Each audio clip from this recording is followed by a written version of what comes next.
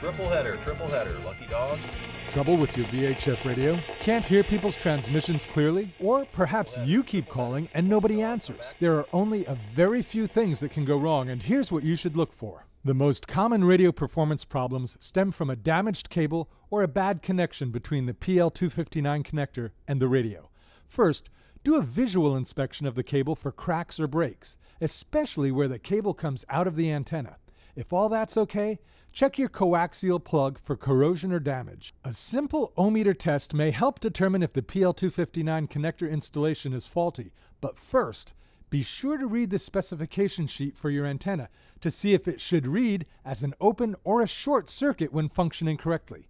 Bear in mind, too, that this test doesn't check the antenna for proper operation. For that, you need an SWR meter. Shakespeare's ART3 antenna radio tester can quickly troubleshoot your radio and antenna and pinpoint problems due to low output power from the radio, high standing wave ratio or SWR in the antenna, and even your radio's receiver capability. Remember that the lower the SWR reading, the better your radio system's performance.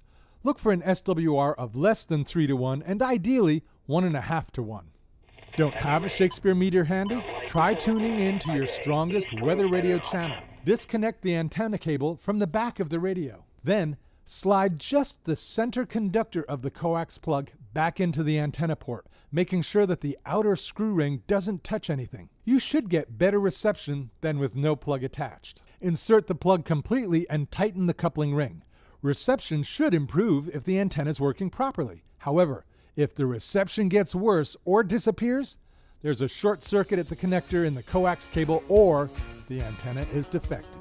If you want more information, visit shakespeare-marine.com.